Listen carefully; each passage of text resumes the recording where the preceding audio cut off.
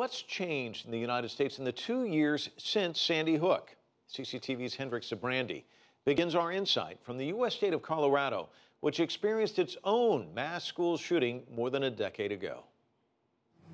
You know, gun violence isn't something A crowd in Colorado listens as Tom Mauser talks about his son, one of the shooting victims at Columbine High School. And I heard a report on the news about a 15 year old boy being transported to the hospital.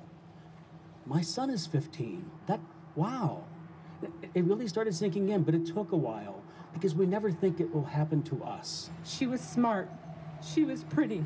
Jane Dougherty's sister was one of those killed in Newtown, Connecticut. Unfortunately, a lot of people think it won't happen to them, and unfortunately, people think it's not their problem because it hasn't touched them. But it will. Two years and nearly a hundred school shootings after the events at Sandy Hook Elementary.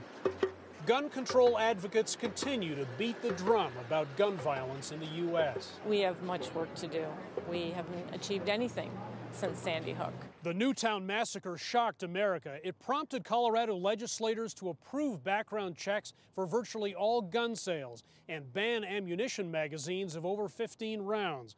But those background checks were defeated in the U.S. Senate. Well, we are up against a very powerful gun lobby. We're up against the NRA. That lobby would only have power because it represents the mainstream of the American public, which believes that guns in the right hands make people safer. Gun rights supporter Dave Kopel argues gun control bills tend to target responsible owners of firearms. Those are needlessly intrusive and harmful.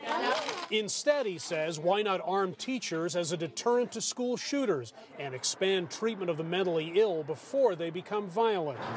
The two sides in this debate will face off next year as legislators here decide whether to keep Colorado's new gun restrictions.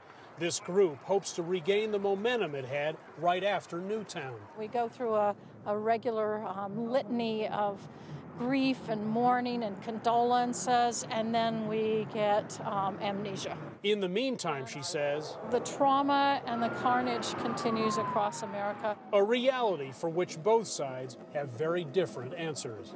Hendrik Sybrandy, CCTV, Denver.